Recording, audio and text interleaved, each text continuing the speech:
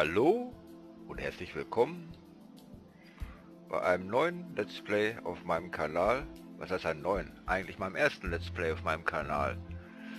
Wir spielen die Volkshome Second Edition versus 2.1 von B-Face. Den Download-Link zu dieser Map werde ich unten in den Infos verlinken. Wie ihr seht, habe ich hier zwei Spielstände, die identisch sind. Der obere ist mein persönlicher, der untere wird der Let's Play Spielstand sein. Ähm, wir fangen einfach mal an. Was habe ich bisher getan? Nicht viel, außer die Münzen auf der ganzen Karte eingesammelt, die ich gleich in den Brunnen werfen werde.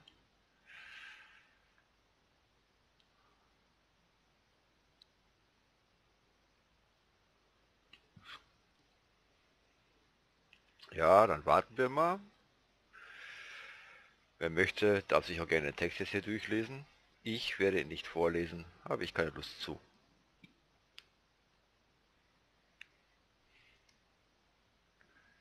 So, da ist sie auch schon geladen und los geht's.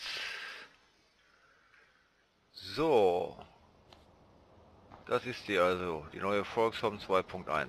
Ach ja, gibt ein paar kleine Veränderungen, die ich gemacht habe die sich aber nur auf die Textur berufen. Ich habe eine andere Grastextur als die Originale, eine andere Feldbodentextur als die alte, weil selbst die Originale von der Björnhall Map hat mir einfach nicht zugesagt. Außerdem finde ich diesen dunkleren Boden, diesen süffigen, feuchten Boden einfach genialer. Lange Rede, kurzer Sinn. Fangen wir mal an. Da sind wir auch schon richtig bei dem Fahrzeug meiner Wahl. So, den schmeißen wir schon mal an.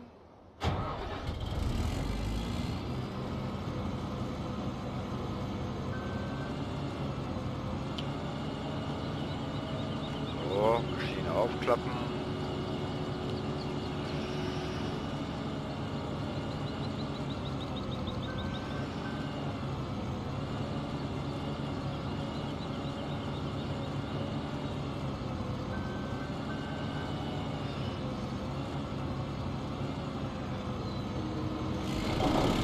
fahren. Und ab geht er, der Peter. So.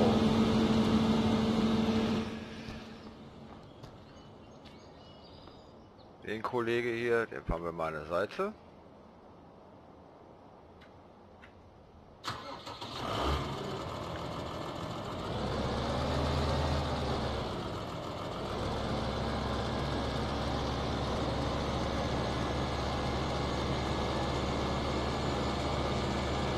stellen den mal hier an der Seite ab, weil den brauchen wir erst später.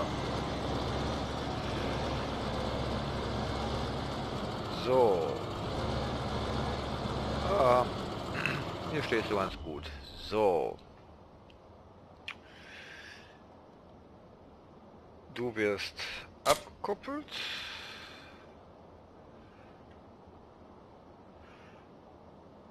Zack, Handbremse raus, Karre anlassen.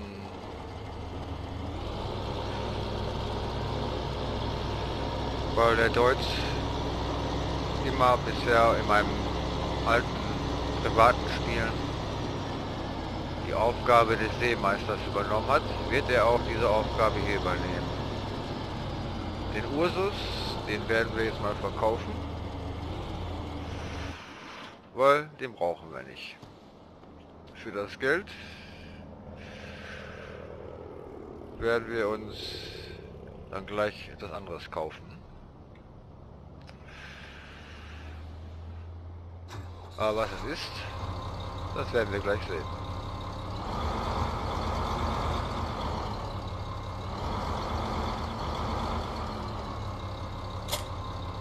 So, den schmeißen wir mal ab, den brauchen wir nicht. Nichts für meine Innenansicht fahren das gute Stück mal zum Händler.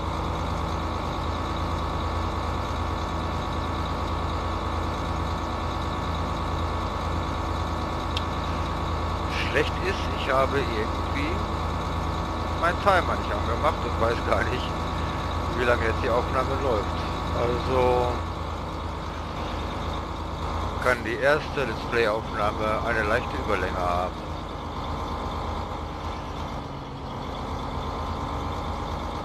Ah, ein Blick auf die Uhr und ich sage mal, ah, ich gebe jetzt noch mal 10 Minuten und werde dann zur nächsten Aufnahmesession übergehen. So, stellen wir mal das gute Ding hier ab. Ausgemacht. Und verkauft. So, der fährt, der auch.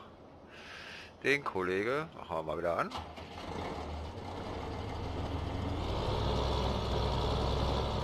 Übernimmt das Gewicht. So.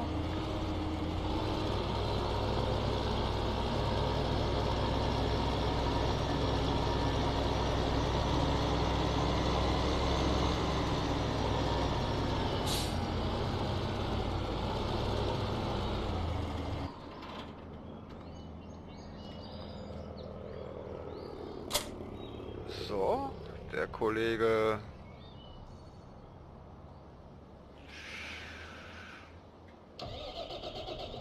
aus seiner Aufgabe, die er auch auf allen meinen privaten Maps auch mal bekommt. Er wird der Abfahrer.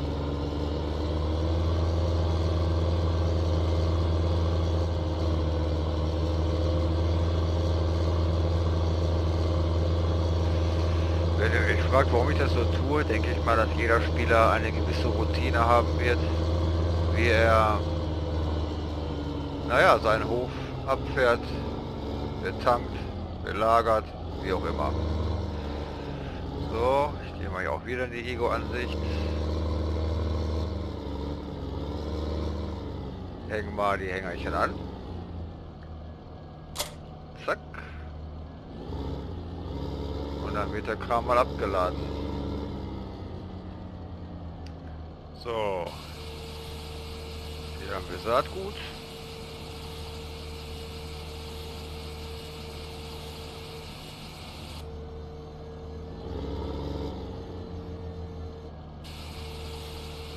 Einmal Dünger.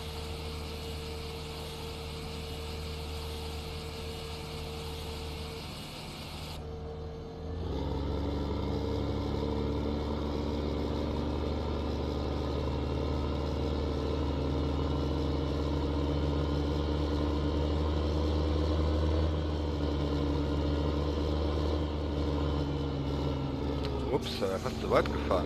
So.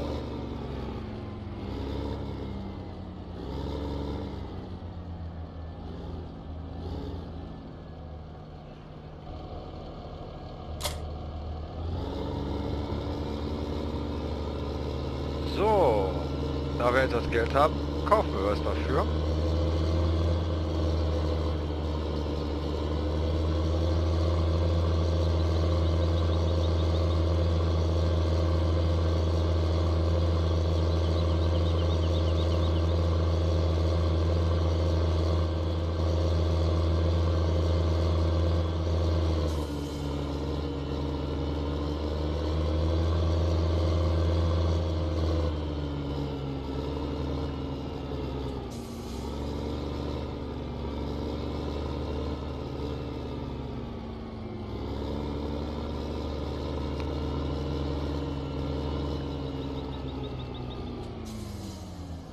Gut, ich könnte auch online kaufen, muss ich aber nicht. Ich stehe ja genau vor dem Laden. Also gehen wir mal rein und kaufen unser erstes Teil zum dritten Mal. Warum zum dritten Mal? Weil ich den Agroliner nochmal kaufe. Jetzt werden sich einige fragen, warum kauft der Typ denn den Agroliner nochmal? Er hat ja schon zwei Stück auf dem Hof. Ja, aber ich bin irgendwie nicht unfähig, ich bin nicht unfähig, das ist auch gut. Ähm, ich bin irgendwie nicht fähig dazu, zwei Agroliner zusammenzuhängen. Und da die jetzt schon zusammengehangen sind, lasse ich die so.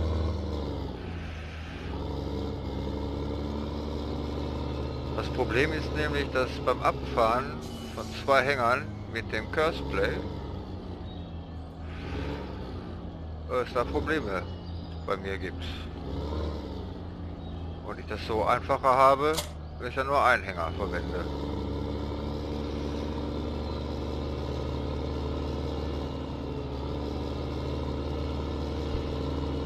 Gut, ich hätte die beiden trennen können, aber wie gesagt, ich würde sie nie wieder zusammenbekommen. Beim Abverkauf des Silos ist das schon sehr hilfreich, wenn man dann zwei Hänger hat am Anfang.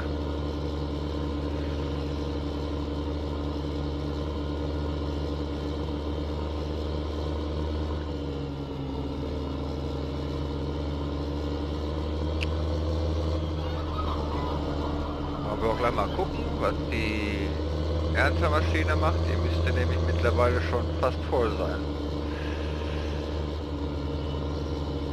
Ja, das nenne ich Timing. Wo ist denn der Kollege? Genau, den können wir auch schon mal runterregeln, da er standardmäßig als Abholfahrzeug unterwegs sein wird. Stellen wir schon mal die sagenumwogene 10 km/h Sache ein. Oh, das war ein bisschen zu wenig. So, tanken wir den mal ab.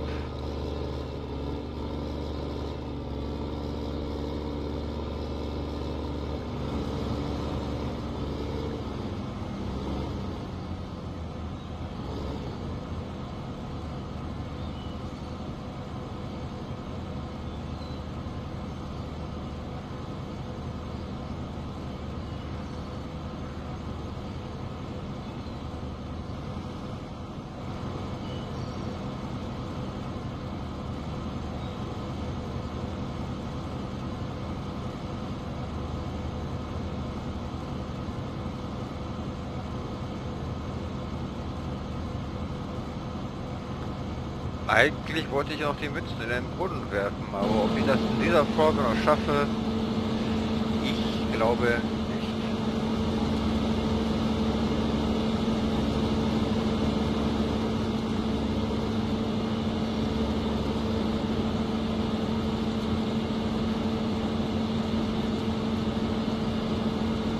Nehmen wir noch mal den Rest mit bis zum Ende des Feldes und schauen dann mal weiter.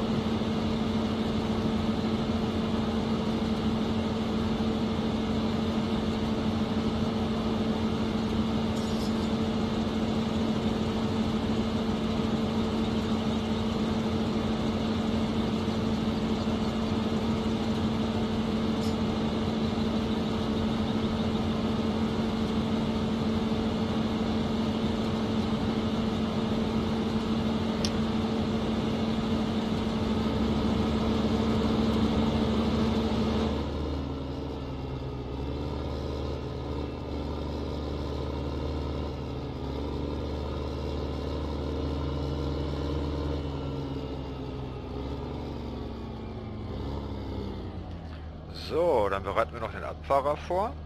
Dafür machen wir unser Core-Spray auf. Abtanken und abfahren und beginnen die Kursaufzeichnung.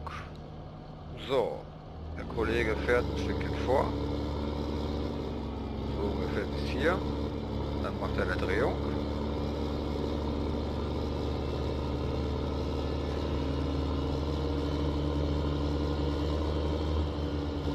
Fährt Richtung Silo.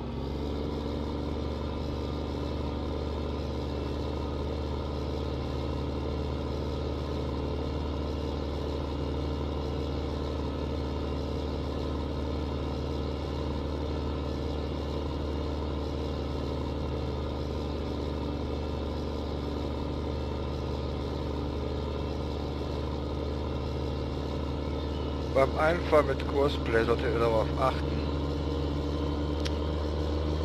dass ihr nicht, oh ja, da muss ich auch darauf achten, dass ich nicht den Siebenmaster befülle, solltet ihr darauf achten, dass ihr die Kurven nicht zu eng fahrt.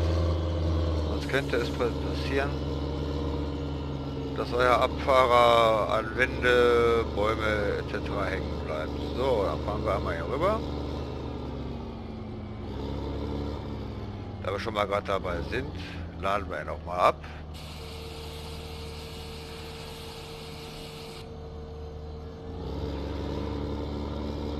Auf dem Rückweg führe ich ihn noch bei den Kartoffeln, Rüben und Hackschnitzel vorbei. So kann er auch diese Produkte abliefern, wenn er hier vorbeifährt.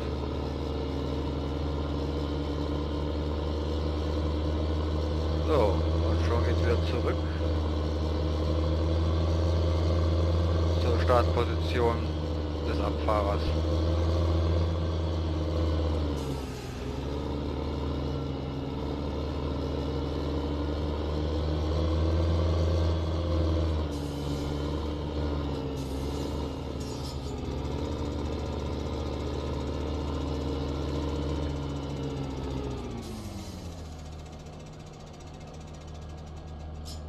So, hier stoppen wir die ganze Geschichte mal. Geben der Sache auch einen Namen. Feld 30 Schrägstrich 31 Abholung Silo Schrägstrich Lager.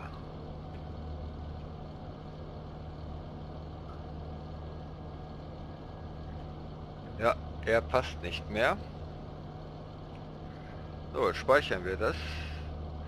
Warum ich jetzt gerade gesagt habe, Feld 30 und 31 hier in dieser Position, kann er von beide Felder abernten mit einem und den gleichen Kurs. So, dann weise ich hier noch den Drescher zu. Könnt ihr auch automatisch lassen, aber ich finde es so praktischer. So, dann fahren wir noch mal ein Stückchen zurück. Und sagen, Abfahrer einstellen.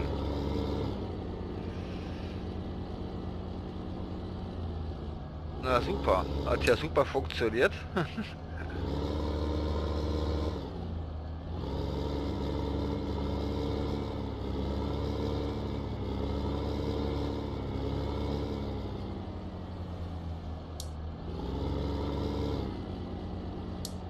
Alter, du sollst hier stehen bleiben und nicht hier rumfahren. So, wir machen das nochmal anders. Ich fahre noch mal ein Stückchen zurück.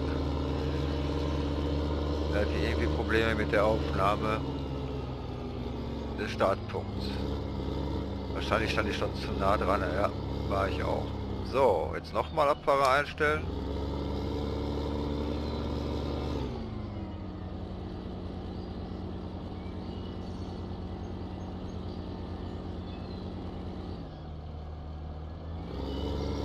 Und los geht's.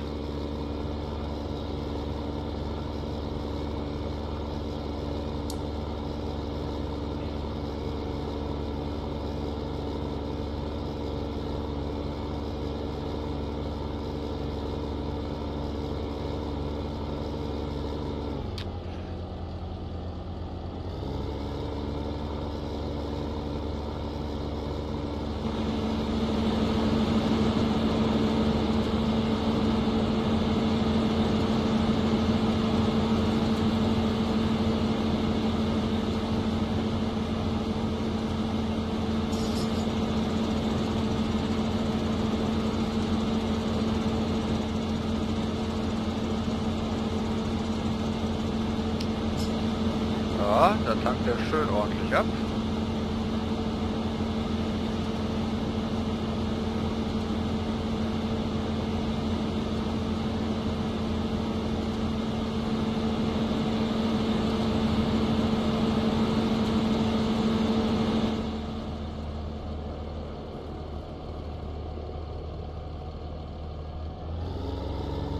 Er geht jetzt in Position. Wird der Drescher dreht. Wartet darauf, dass er die nächste Abholung machen kann. Falls ihr darauf warten solltet, wann die nächste Folge beginnt, die nehme ich jetzt gleich im Anschluss auf. Bis demnächst und vielen Dank fürs Zuschauen. Tschüss!